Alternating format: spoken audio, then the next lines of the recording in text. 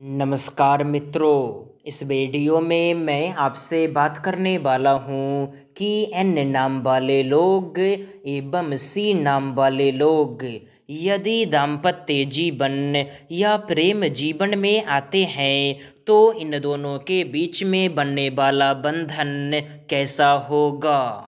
मित्रों, यदि आप ये जानना चाहते हैं तो इस वीडियो को बड़े ही ध्यान से आपको सुनना चाहिए, क्योंकि यह वीडियो एन नाम वाले लोग एवं सी नाम वाले लोगों के लिए बहुत ज़्यादा महत्वपूर्ण एवं उपयोगी है।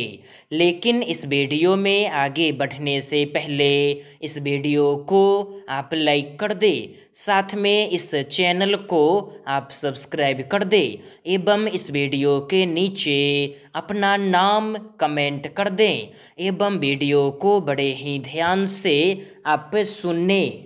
मित्रों, इस नाम के दोनों लोग यदि आपसी जीवन में आते हैं तो इन दोनों के बीच में बनने वाला बंधन बहुत ज़्यादा चुनौतीपूर्ण होगा, क्योंकि इस नाम के दोनों लोग स्वभाव में एक दूसरे से अलग, एक दूसरे से भिन्न होते हैं। इस नाम के दोनों लोग अपने अपने जीवन को अपने अपने दृष्टिकोण के हिसाब से जीने का प्रयास करते हैं।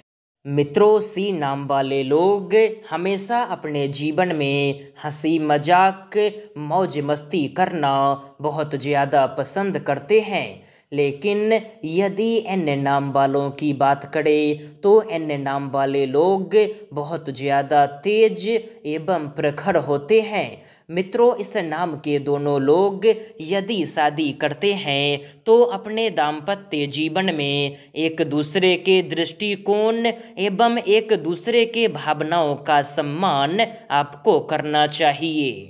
क्योंकि यदि आप ऐसा नहीं करते हैं तो आप दोनों के बीच में अनुकूलता की कमी बहुत ज़्यादा होगी। लेकिन भिन्न दृष्टिकोण होने के बावजूद इस नाम के दोनों लोग एक दूसरे के प्रति बहुत ज़्यादा आकर्षित होते हैं।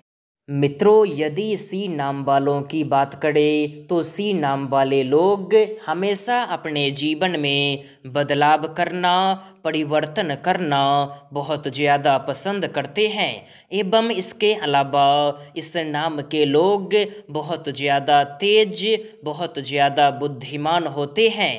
मित्रों एन नाम वाले लोग एवं सी नाम वाले लोग, इन दोनों के बारे में सारी बातें पता करने के बाद, यदि इनके वैवाहिक जीवन, इनके दाम्पत्य जीवन की बात करें तो इन दोनों के बीच में बनने वाला बंधन सामान्य रहेगा। न ज़्यादा मज़बूत, न ज़्यादा खराब तो मित्रों, इस वीडियो में आगे बढ़ने से पहले इस वीडियो को आप लाइक कर दें, साथ में इस चैनल को आप सब्सक्राइब कर दें एवं इस वीडियो के नीचे अपने इष्ट देवता का नाम कमेंट कर दें एवं इस वीडियो को आप हर जगह शेयर कर दें। धन्यवाद।